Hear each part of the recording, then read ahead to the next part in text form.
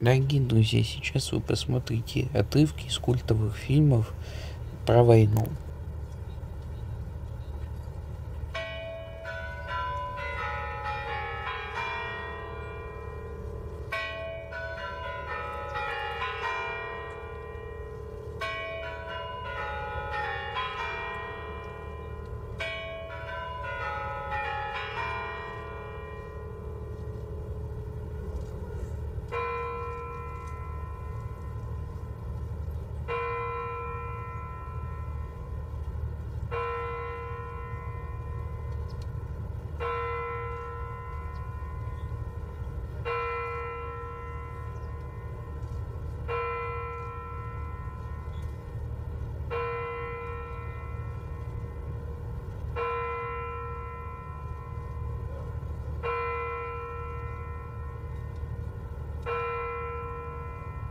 А женщины, скажу я тебе откровенно, самый невероятный народ.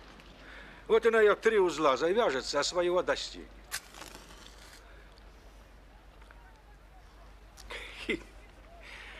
Ужасно ушлое животное, женщина.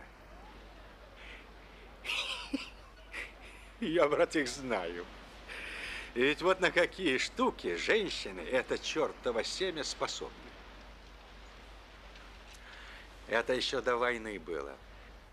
На 1 мая. Я и мои другие товарищи-комбайнеры затеялись выпить. Ну, собрались семейно, с женами. Гуляем. Армошка нашлась. Ну, подпили несколько так по литру на брата.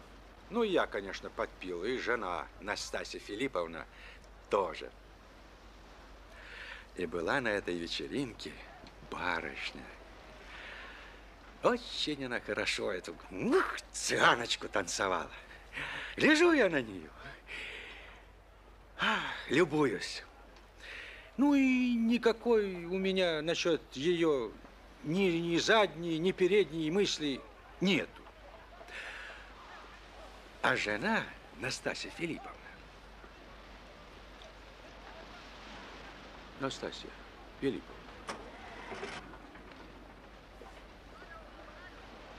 Ну, я же тебе говорил, что магнитофон. Я сниму. Шведский ключ у тебя есть? Неси его, Митя. Неси, говорю, ребят. Думал я, Некрасов, что ты русский человек, а так, отца дерьмо неизвестной национальности. Чего это? Ты откуда родом, Некрасов? Курский? Был, был Курский из-под Лебедяни. Ты лучше про свою тайную болезнь расскажи. Смеяться тут не на чем. Тут смех плохой.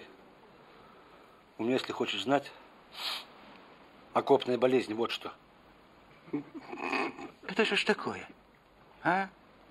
Некрасов.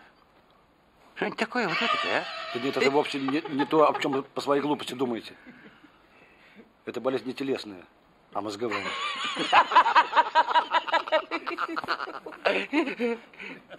Мозговая.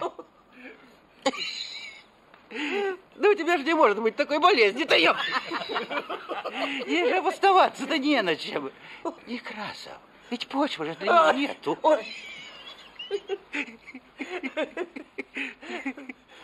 А какая она из себя? Ну, говори, что тянешь. Ну, расскажи, Паша. Расскажи.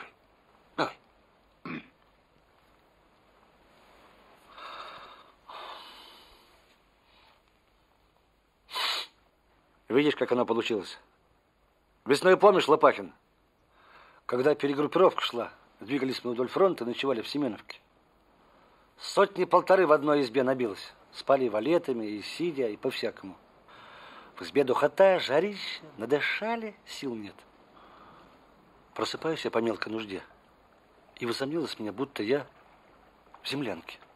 И чтобы мне выйти, нужно по ступенькам подняться. В памяти был, точно помню. А полез на печку. А на печке ветхая старуха спала. Ей этой старухе лет 90 или 100. Она уже от старости вся мохом взялась.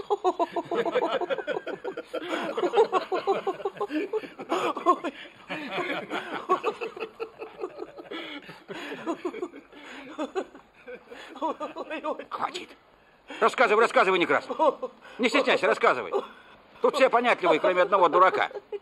Хватит. Понятное дело, что эта старуха здорово замнила. Стою на приступке печи, а она, божья старушка, рухлядь я такая шелудивая, с просонок да с испугу, конечно, разволновалась. И так это мне жалостливо.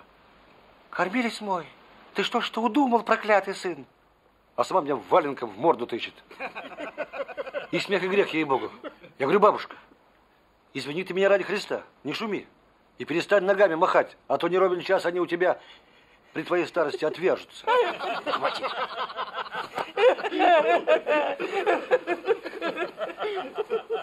Извиняюсь, говорю, бабушка, что потревожил тебя. Но только ты за свою невинность ничуть не беспокойся, холера тебя возьми. С темы слез. Со старушки. С приступка, дурак. Мать честная, думаю, что ж такое со мной получилось? Не дай бог, ребята, услышали, что я с этой старой дурой говорил. Они же меня заживо в гроб гонят своими надсмешками. По счастью, никто из ребят не слыхал нашего разговора. И все обошлось благополучно. Но только с той поры редкую ночь не воображаю себя в землянке. Или в блиндаже. Или в каком-нибудь ином укрытии. Она это твоя окопная болезнь не того? Не заразная она? А то возле тебя с проста ума посидишь, потом, может, тоже по ночам начнешь лазить куда не следует, а? Дурак. Интересно, почему же ты дурак? Да к тебе даже сибирская язва не пристанет. Не то, что какая-нибудь умственная болезнь.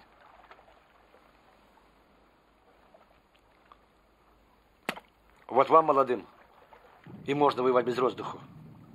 Какие при здоровье. А мне нельзя. Года мои дети. Да и дома желательно бы побывать. Ведь у меня четверо детишек. И вот, понимаешь, год их не видел и забыл, какие они обличием.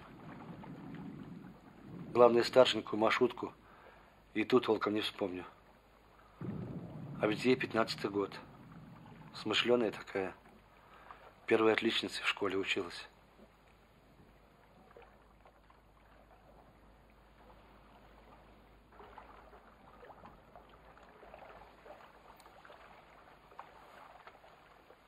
Про жену я уж не говорю. Тут дело такое, что сразу слов подходящих не сыщешь. Только, признаться, тоже давно уже позабыл, как у нее под мышками пахнет.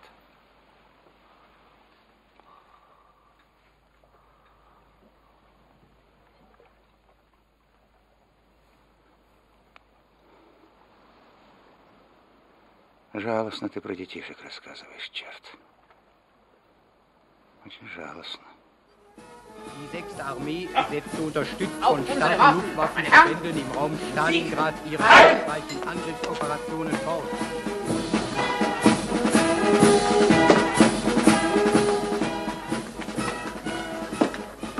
Военнопленный Соколов Андрей, по вашему приказанию, герр-лагерфюрер, явился.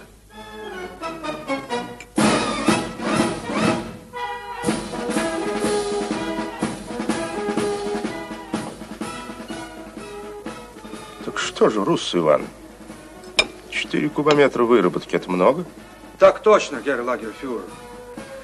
Много. А одного тебе на могилу хватит? Так точно, герр-лагерфюрер. Вполне хватит. Даже останется. Я окажу тебе великую честь.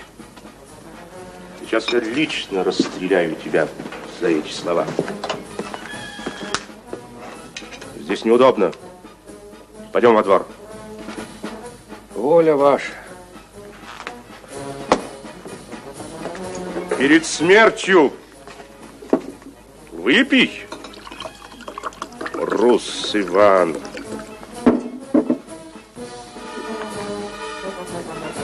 За победу германского оружия.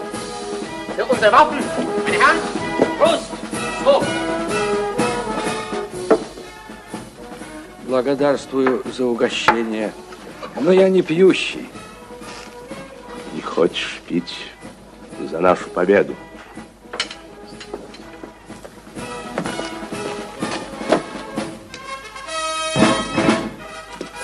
В таком случае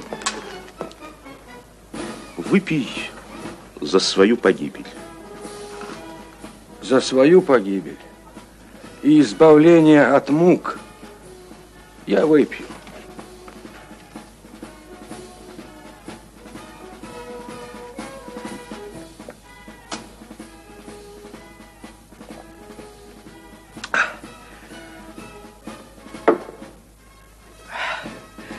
Я готов, яр комендант. Пойдемте, распишите меня. Да ты хоть закуси перед смертью. Я после первого стакана не закусываю.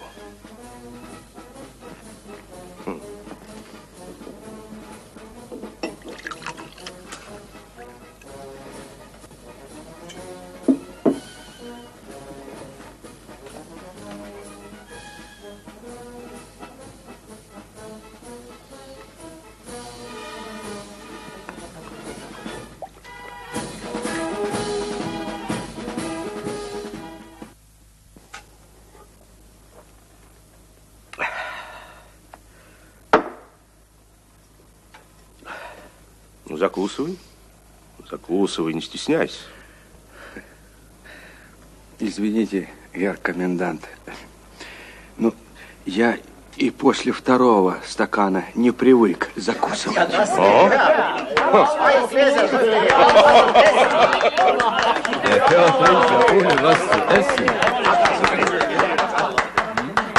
Eine ganze Flasche ist das doch unmöglich. Unerhört. Unerhört. Also man kann das gar nicht verstehen. Also, eine ganze Flasche ist das doch.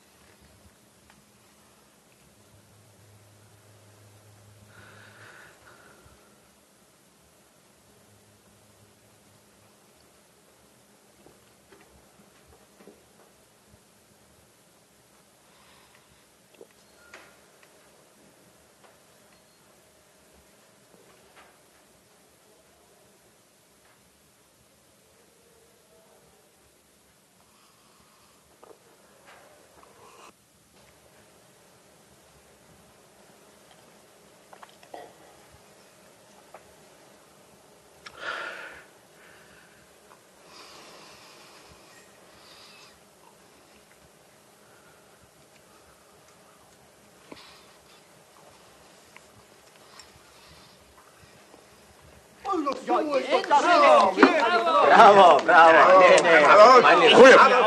Verzeihung.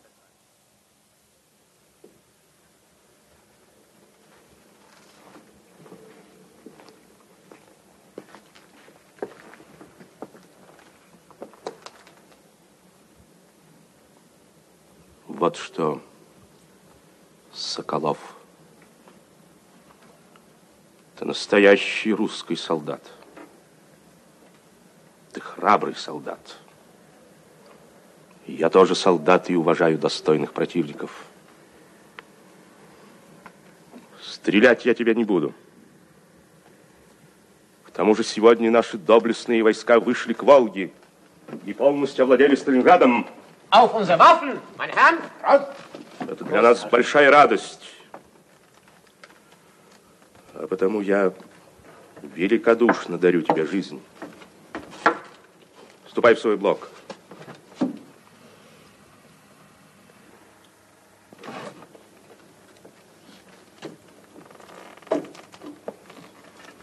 Это тебе за смелость.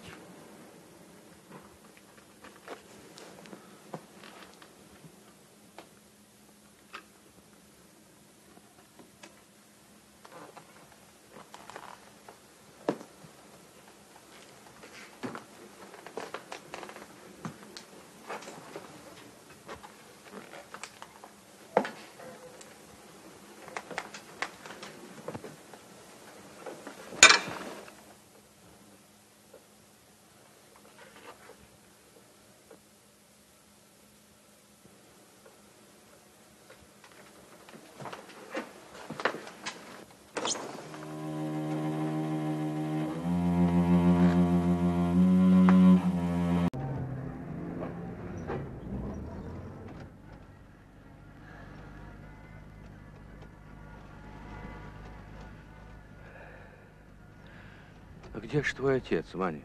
Погиб на фронте. А мама? А мама убила бомбой, когда мы ехали в гости. А откуда уехали?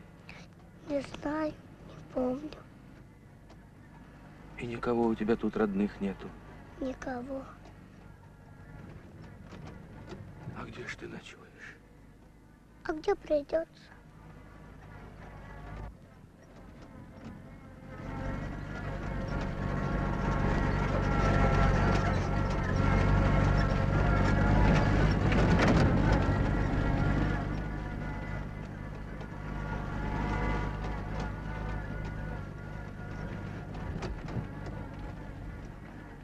Ванюшка, а ты знаешь,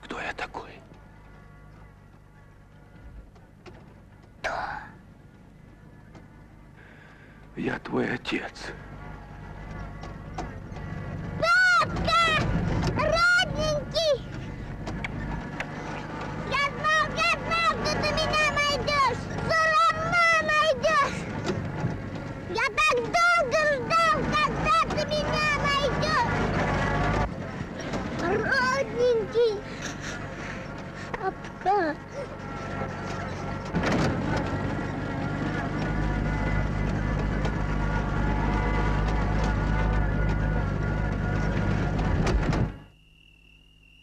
Арфы нет, возьмите бубен от винта.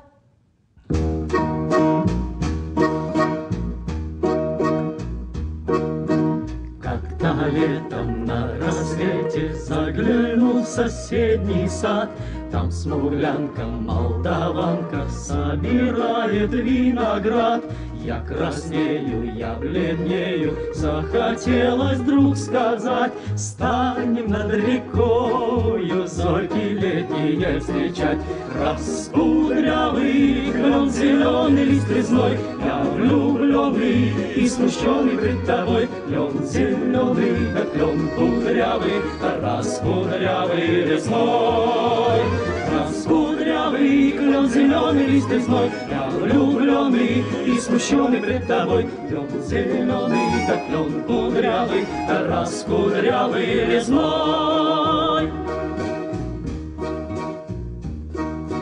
А смуглянка, молдаванка отвечала парню лад. Партизанский, молдаванский, собираем мы отряд.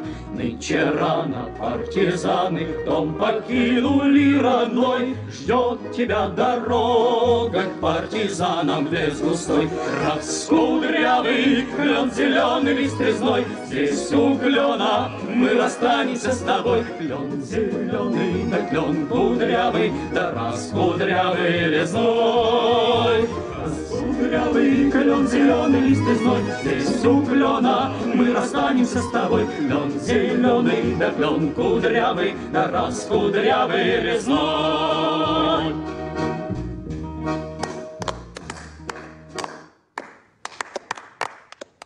Товарищ гвардия майор, разрешите обратиться к товарищу капитану? Обращайтесь. Добрый вечер. Товарищ капитан, пока здесь некоторые старались ля-ля-ля, первая эскадрилья обеспечила ремонт вашего крейсера.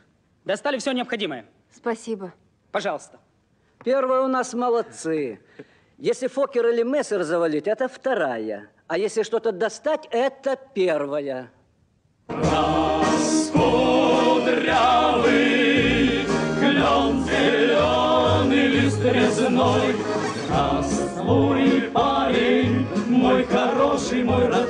Родной. Клен зеленый, да клен кудрявый, раз кудрявый резной.